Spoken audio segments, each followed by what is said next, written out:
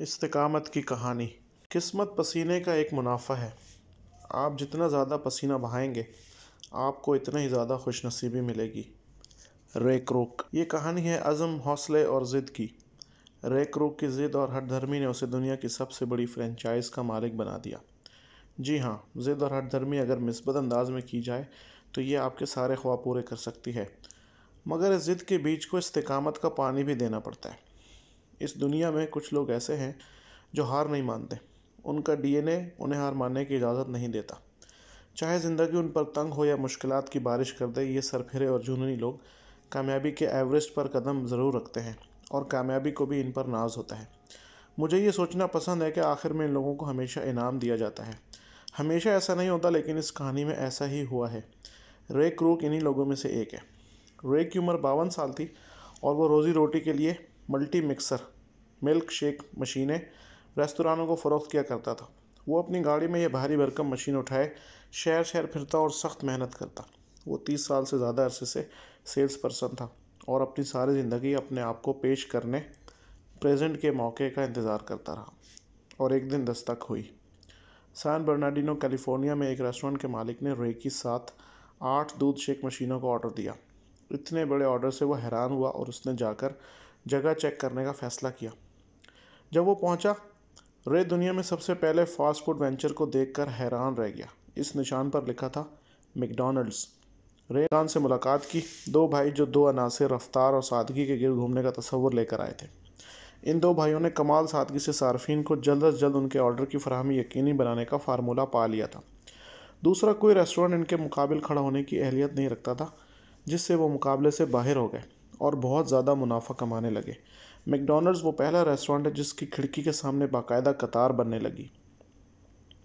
McDonald बरदरान ने इससे पहले मुख्तलिफ़ रेस्टोरेंट शुरू किए थे और इन्हें मालूम हुआ था कि उनकी ज़्यादातर फ़रोख्त चंद अशिया पर मरकूज़ थी। उन्होंने इनके अलावा हर चीज़ को मेनू से निकालने का फ़ैसला किया। इसके अलावा अपने अखराज को कम कर दिया। इसने मैकडोनल्ड्स को अपने हरीफों से फ़र्क करने की इजाज़त दी। यूँ सादगी के सादा से उसूल पर अमल करके उन्होंने अपनी प्रोडक्ट को ख़ास बना दिया। अगरचे उनका कारोबार बहुत अच्छा था, ताहम वो दोनों भाई कामयाबी से मैकडोनल्ड्स की तोसी ना कर सके। इसकी वजह इनका तरक्की पसंद सोच के हामिल ना होना था।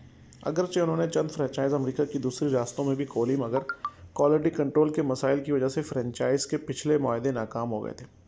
जब रे ने इस कारोबार को देखा तो इसने फौरी तौर पर मैकडोनल्ड्स के नाम की वजह से इसमें दिलचस्पी ली।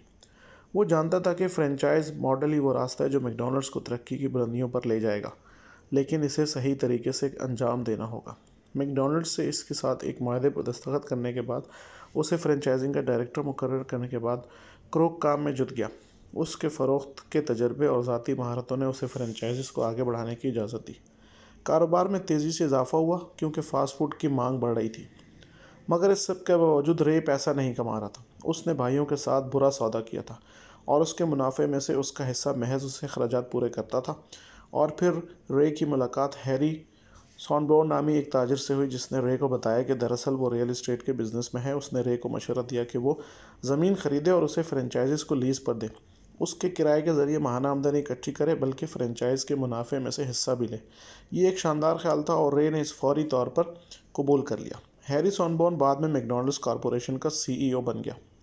दोनों मैकडोनल्ड बरदर रे की तरक्की सोच, पसंद और मस्बत तब्दीलियों से खुश नहीं थे।